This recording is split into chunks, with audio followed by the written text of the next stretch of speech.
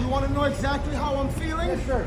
I just stood here in this Los Angeles County and witnessed the worst miscarriage of justice Yes. that this world has Yes. ever seen. Yes. You want to know how I feel? I'll tell you exactly how I feel. I got some names that I want to call.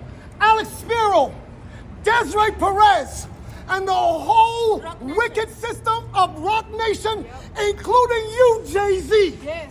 Yes. You who say you rose from the gutter, but you have traded and bartered the souls of young men, Yep. and you're still doing it. The only independent witness in this courtroom is a man whose name is Sean Kelly. He came to court, and our attorneys, he would not even shake their hand after he went upstairs with Kathy Ta and Alex Bott. They met on Saturday before. They met They on Saturday. met witness. And then the man came back. And I sat in the hallway while he sat with Jody Little, the prosecutor's investigator, who acted so dumb, an intelligent woman who did not want. Listen, I've seen so much evidence buried in this, Yeah. and I know exactly what the public out here will oh, say. DNA. Don't talk. You will say, I say this because I'm a father. See, I am a father of thousands around the world. I'm a father of my kids, but a spiritual father to many. And I don't make stupid allegations because I got nothing better to do. You all have been bartering and trading the souls of young black and brown men Yes. in this country. And I'm calling on all the umbrellas. I'm calling on everybody in this country to begin to rise up That's because right. your sons have been done Right. dirty. Yes. Right. Yes. That's right. Yes. That's right. That's right. Free Amen. George! Free That's right. George! That's It's right. not over. It's Brice Davis on the check-in. And for y'all that don't know, Tory Lanez was found guilty of shooting to Meg the Stallion. You know, definitely didn't see this coming, especially with, you know, the things that were circulating online, you know, like on the DJ Akademiks page and whatnot, you know, one plus one was equaling three, things wasn't adding up. So we thought Tory was gonna walk away free.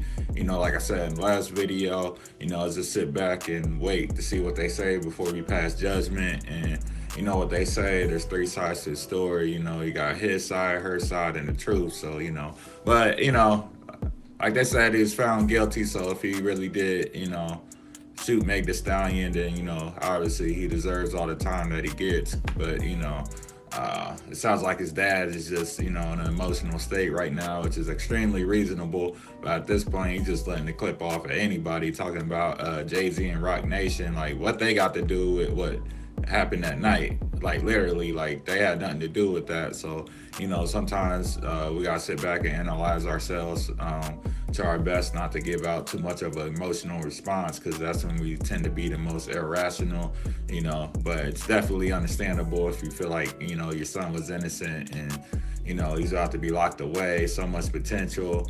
One thing I don't understand is all the hate.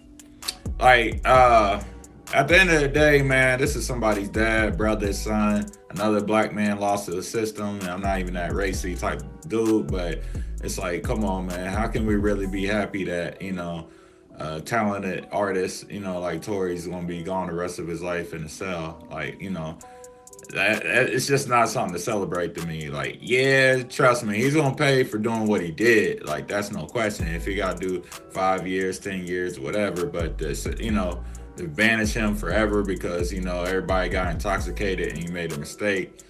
I don't know about that one. You know what I'm saying? I'm not religious, so you know I'm not gonna say only God can judge me. But uh, hey, you know what do I know? But anyway, if you like the video, make sure you like and subscribe.